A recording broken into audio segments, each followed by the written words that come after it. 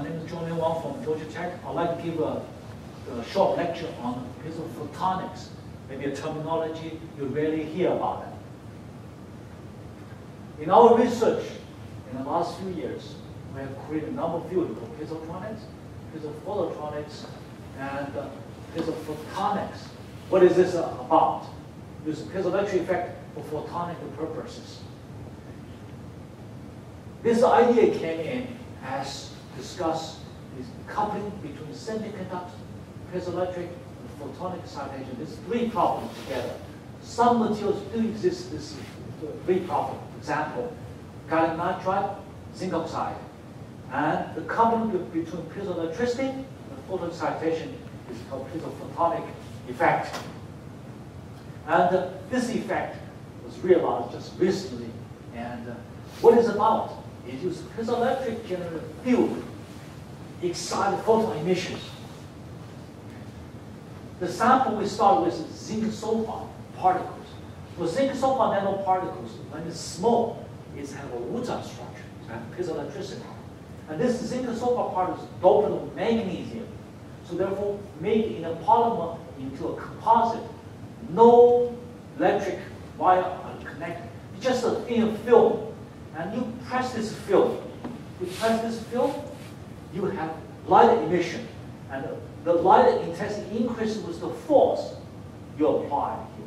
Force applied. With the increased force, emission intensity increases, but no shift in wavelength. Increase the force, the emission intensity also increases, but they have a critical value here.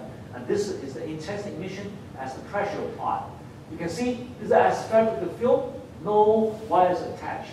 Then use the pencil pen to write on anything scrub the surface here. You have light emission. Light emission can directly dis display on monitor here, so it can record the the, the, the, the, the, the graphics you, you, you, wrote, you wrote. You see the graphics you wrote here? Because the emission intensity is proportional to the force you apply. So this can record the way you write these letters. Not only record the graphics, but also record the speed and the pressure you apply you write characters, uh, which is a unique uh, advantage for this. Why do we have photon emission on the excitation of this mechanical agitation? Well, we suggest a mechanism.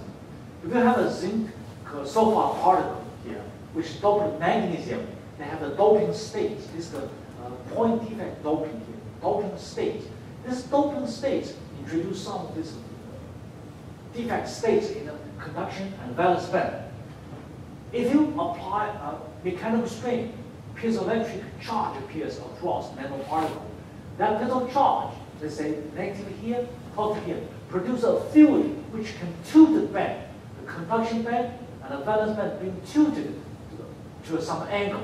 In such a case, now if you have the electrons that be trapped by the surface states or defect states, those defect states can be detrapped to vacuum states here, then the detrapped electron can form the hole state, give you additional energy. But this additional energy does not emit as photons. Instead, this is energy being absorbed by the uh, doped elements of manganese. Excite electron from A state to T state. Excite electron A state. But this electron can drop back to the A state, give you orange color emission. So if you increase the force applied, you increase the, the piezo charge here, you increase the degree at which the band being tilted. You increase the popularity of the trapped electrons. So more electrons, more energy released, more energy released, each one is a, is a quantum excitation, give you orange light.